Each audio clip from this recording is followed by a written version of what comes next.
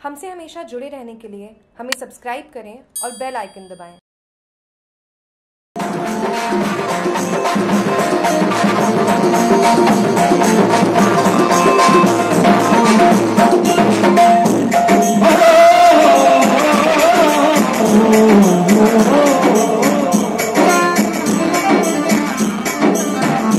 श्री जागृत हनुमान जी का सत्तावीसवां वार्षिक महोत्सव 2018 कार्तिक सुदी पूर्णिमा के अवसर पर विशाल भक्ति संध्या का आयोजन आज रात शुक्रवार को धूमधाम से आयोजित किया गया।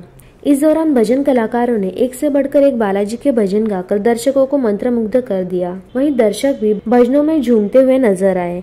इस दौरान छप्पन भोग का भी आयोजन किया गया। मंच संचालन मीठालाल सेन फालना ने किया। इस दौरान काफ़ी संख्या में भक्तगण, शहरवासी व महिलाएँ, पुरुष मौजूद रहे। वहीं सुबह हनुमान जी मंदिर पर ध्वजा भी चढ़ाई गई।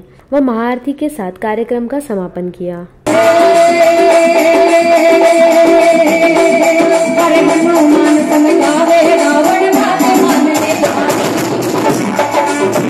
जालौर से जागरूक टीवी की रिपोर्ट।